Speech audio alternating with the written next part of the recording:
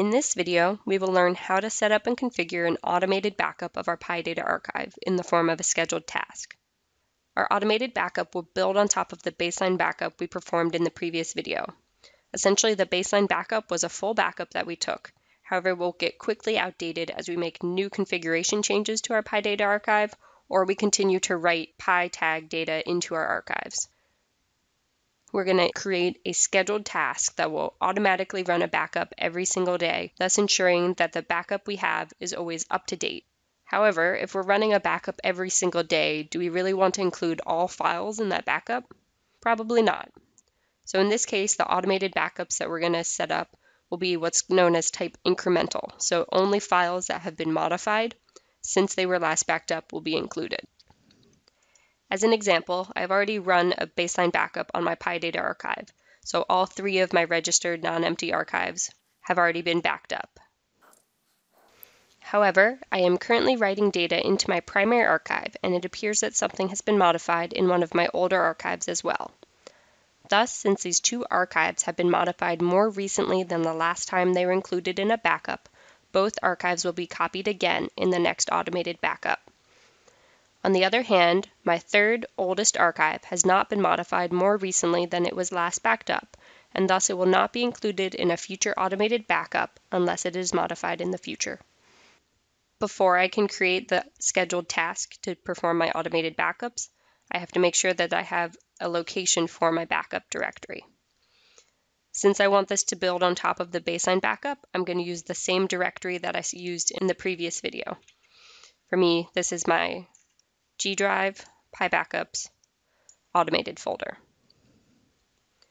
Note it is recommended to put your backup directory on a dedicated drive on your PI Data archive.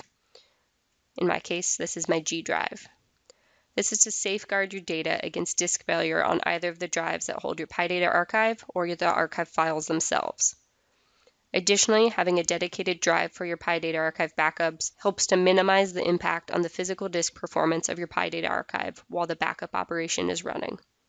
Now that I have my location in mind, I can create the scheduled task. In order to do so, I'm going to go on my PI Data archive machine and open an administrative command prompt. Then I'm going to navigate to my PI Data archive installation directory, which I can use the environment variable percent .PIServer percent to go there as well. Once here, I will go to the ADM subfolder. This is because your PI Data archive has a script that will help you set up your automated backup task for you. So in order to set this up, I will use the command pibackup and then specify the location I want my backups to be stored, which in my case is G PIBackups, automated. And then finally, I'll use the flag dash install, and this is to create the automated backup task. Once I hit enter, I can see that it's calling the PIBackup command. And now I see that my scheduled backup task has been successfully created in the directory that I specified.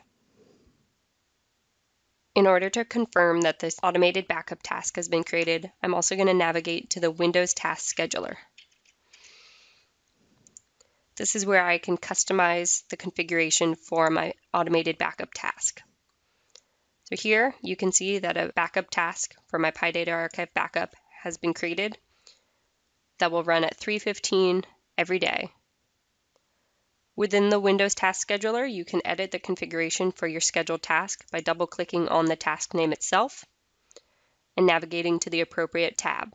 So for instance, if I wanted to change the time, I would go to the Triggers tab and I would edit the frequency and time that I want my PI Data archive automated backup to run. However, due to the resource usage while you're taking a backup, the scheduled task should be scheduled for a time when there's typically the lowest demand on your PI Data archive. Hence, the 315 value is the default. Additionally, if I navigate to the Actions tab, I can see the command that is actually being called when I perform my automated backup. In this case, it's calling the PIBackup script, and then it's taking the backup to the directory that we specified, and it's a type incremental backup. Again, this means it's not going to include every file each time it runs, but it will only include files that have been changed since the last backup. This is to ensure that your backup is always up to date, but without copying every file each day. Currently, our automated backups will only include files related to our PI Data archive namely our PI Data archive installation directory or the percent PIServer percent folder. If I want to include other files, such as my PIPC folders or the PIHOME directories, we have to take one more additional step in setting up our automated backup. By including your PIPC directories in your daily backups, you'll have copies of your custom configured files that lie outside of your PI Data archive. This includes files such as your interface configuration files. So for instance, if I have a perfmon interface running, including the PIPC directory in my automated backup would also save a copy of my interface batch file.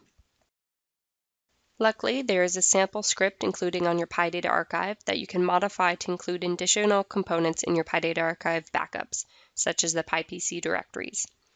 The sample script can be found in the PI Data archive installation directory, which is your PI folder, and then the ADM subfolder, and it's called pisitebackup.bat. And so right now it has a dot example because it's just a, a sample script. However, to activate it, I'm going to rename it and remove the dot example and confirm that that is what I want to do. Now I can right click on it and select Edit, and this will show me not only the script itself, but the instructions that are included within it.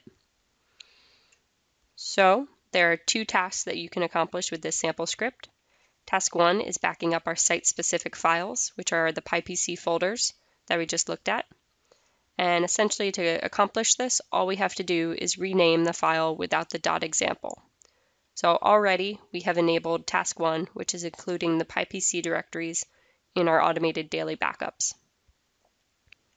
Task two is in relation to setting up a backup of your backup directory or copying your backup directory to a remote location, which we will talk about in the next video. Now that we have renamed this without the dot example and it's active, I'm going to go and test out my automated backup. So instead of waiting until 3.15 in the morning, within the Windows Task Scheduler, I can just select Run. Now if I select to display all running tasks, I can see that my PI Data archive backup is currently running. Once I hit refresh and the PI Data archive backup task is no longer here, I can assume that is completed. Additionally, if I come and select refresh, I can see that not only the last runtime was updated, but also the result. So in this case, we've run our PI Data archive backup task, and in this case, it has completed successfully. Now that this is finished, let's actually check the PI Data archive backup directory that we specified, which in my case is my G drive, PIBackups, automated. Here I can see that a log file was generated for the particular automated backup task that we ran. It turns out a new log file will be created for every backup that you run and include additional information about that specific backup. We will look into the backup history and status more in the next video. For now, I can also see that there is a subfolder called Site Backup. Within Site Backup, I can see that it included my PIPC directories in my PI Data archive backup. Again, this will help me include information such as my interface batch files that are custom configured for my environment. Overall, we were able to set up our automated daily backups for my PI Data archive, including my PIPC directories, which include client-specific information on top of the PI Data archive information that's included in the backup.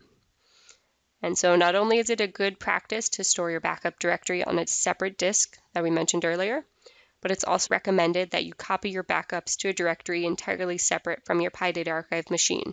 And we will talk about this remote backup process more in the next video.